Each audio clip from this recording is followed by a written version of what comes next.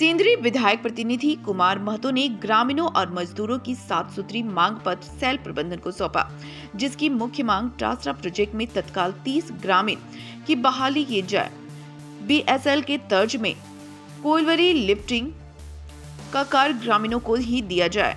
सन 1985 में बने कांड्रा जोड़िया जो पत्थर से बनाए गए थे, वह धीरे धीरे पानी के बहाव में बह गए हैं, जिसे तत्काल रिपेयरिंग करवाया जाए। कांड्रा में जोरिया के ऊपर बने रिपेयरिंग करवाया जाए। कांड्रा शमशान घाट में रिपेयरिंग का काम करवाया जाए। ईएमई और सेंट प्लांट हटाए गए मजदूरों को ट्रासरा मेगा प्रोजेक्ट में तत्काल नियोजन दिया जाए। अतः जल्द से जल्द इस विषय को ध्यान में रखते हुए उचित कार्रवाई की जाए। अन्यथा, कांड्रा के ग्रामीण बाध्य होकर आंदोलन करने को विवश हो जाएँगे जिसे होने वाली क्षति का पूर्ण जिम्मेदार सेल प्रबंधन होगी।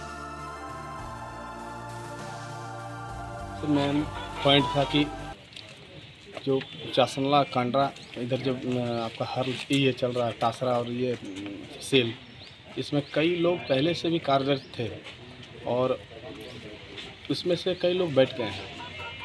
और अभी जो नया तासरा प्रोजेक्ट चालू होगा, उसमें भी कई लोग पहले काम करते थे और कुछ लोग अभी तो बेरोजगारी का अंबार लगा हुआ हर जगह। तो इसमें भी कुछ और नए लड़का पार्टिसिपेट करेंगे।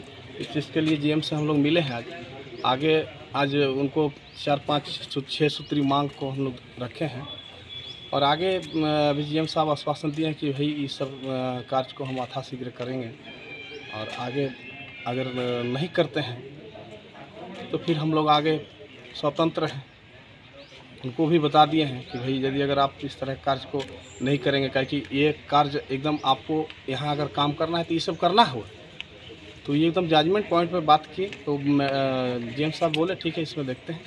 और आगे फिर यदि अगर ये अपना, ये से मुकरते हैं तो फिर ये सब तैयार है। आगे क्या करना होगा छः सूत्री मांग में कि जैसे टासरा और चासनाला में कुछ ग्रामीणों को बहाल करना है, कुछ बेरोजगारों को। उसी उसके बाद आपका ये है कांड्रा में एक जोड़िया जो पुल है, उस भी बहुत दिन से टूटा हुआ है।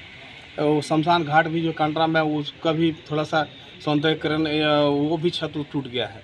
आपका ई और इसमें कुछ लोग पहले से कार्यरत थे, वो भी सब बैठे हुए हैं। आपका इसमें क्या है? एक ही जोड़िया जो बहता है, आप देखे होंगे, यहाँ कैलानसरी ब्रिज से एकदम वो नीचे दमोदर तक जाता है।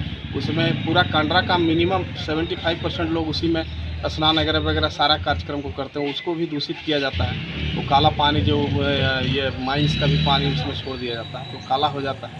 इस कारण से उन लोगों को बहुत कठिनाई होती है गाँव के महिलाओं को भी नहाने में चाहे और भी लोगों को।